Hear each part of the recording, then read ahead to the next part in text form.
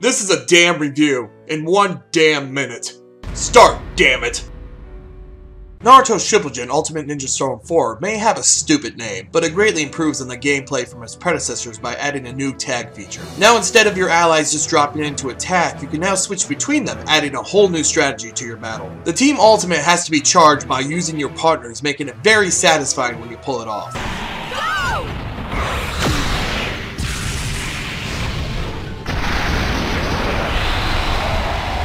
On the downside, they still haven't balanced the distance fighter, so they're still overpowered. For the first time, the story mode isn't a giant pile of shit. It does a great job retelling the final battles, even though both the manga and the anime dragged it out longer than the Frieza saga on Namek. But the game has to shit the bed somewhere, and that's where adventure mode comes in. It's a giant stupid fetch quest that adds nothing to the story and does nothing with the characters. But you get nothing important for playing it, so hey, at least it's pointless. If you're a fan of Naruto or over-the-top fighters, this is a must-have.